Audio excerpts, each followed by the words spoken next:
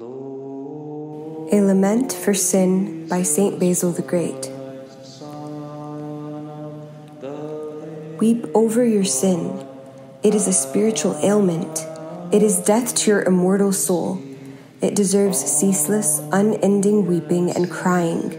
Let all tears flow for it, and sighing come forth without ceasing from the depths of your heart. In profound humility, I weep for all my sins, voluntary and involuntary, conscious and unconscious, covert and overt, great and little, committed by word and deed and thought and an intention, day and night at every hour and minute of my life. I weep over my pride and my ambition, my self love and my boastfulness. I weep over my fits of anger, irritation, excessive shouting, swearing, quarreling, and cursing. I weep for having criticized, censured, gossiped, slandered, and defamed, for my wrath, enmity, hatred, envy, jealousy, vengeance, and rancor.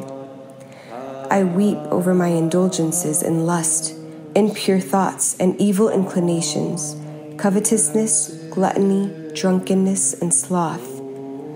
I weep for having talked idly, used foul language, blasphemed, derided, joked, ridiculed, mocked, enjoyed empty gaiety, singing, dancing, and every pleasure to excess. I weep over my self indulgence, cupidity, love of money, and miserliness, unmercifulness, and cruelty. I weep over my laziness, indolence, negligence, love of comfort, weakness, idleness, absent mindedness, irresponsibility, inattention, love of sleep for hours spent in idle pursuits, and for my lack of concentration in prayer and in church, for not observing fasts and not doing charitable works. I weep over my lack of faith, my doubting, my perplexity, my coldness, my indifference, my weakness, and unfeelingness in what concerns the holy Orthodox faith, and over all my foul, cunning, and reviling thoughts. I weep over my exaggerated sorrow and grief, depression and despair, and over sins committed willingly. I weep, but what tears can I find for a worthy and fitting way to weep for all the actions of my ill fated life, for my immeasurable and profound worthlessness?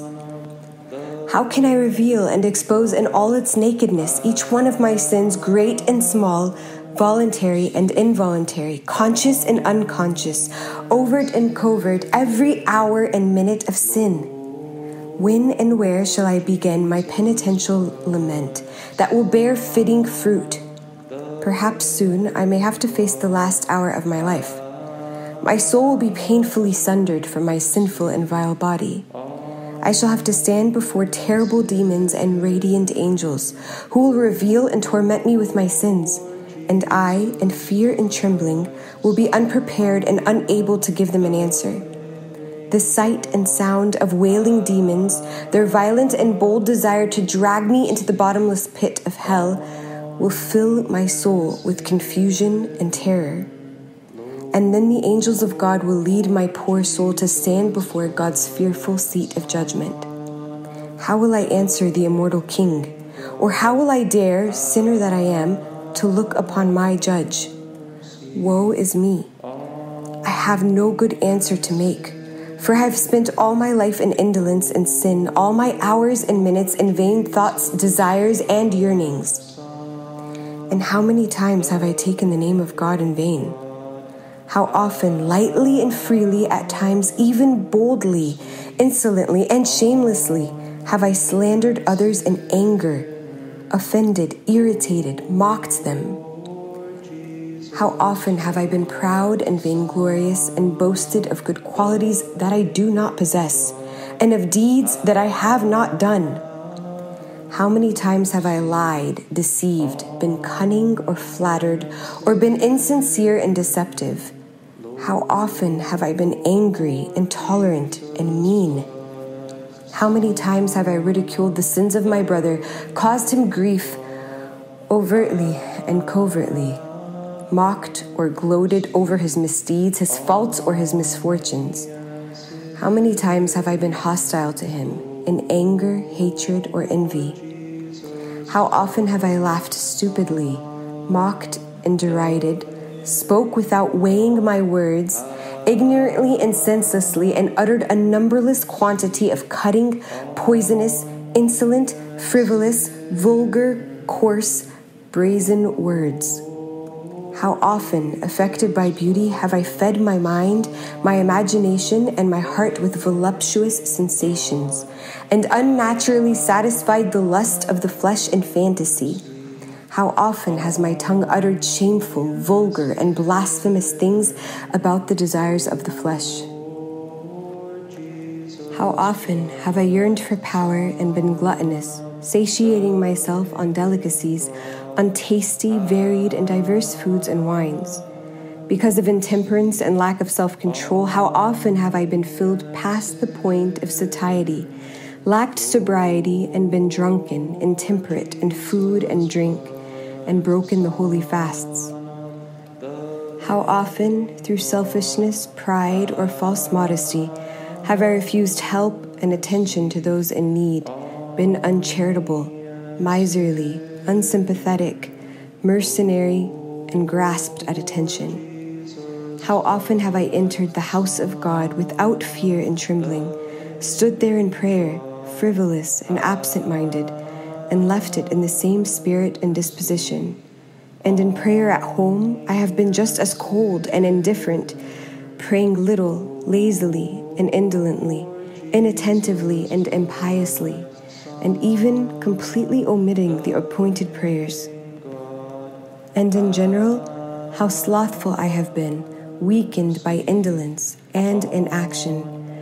How many hours of each day have I spent in sleep? How often have I enjoyed voluptuous thoughts in bed and defiled my flesh? How many hours have I spent in empty and futile pastimes and pleasures and frivolous talk and speech? jokes and laughter, games and fun, and how much time have I wasted conclusively in chatter and gossip and criticizing others and reproaching them? How many hours have I spent in time wasting and emptiness? What shall I answer to the Lord God for every hour and every minute of lost time? In truth, I have wasted my entire life in laziness.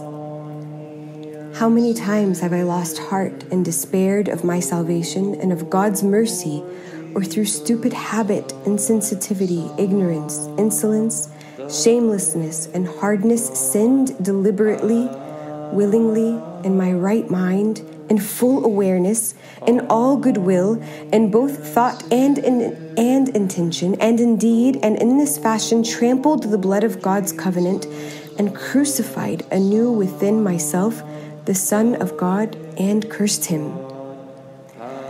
Oh, how terrible the punishment that I have drawn upon myself. How is it that my eyes are not streaming with constant tears? If only my tears flowed from the cradle to the grave at every hour and every minute of my tortured life.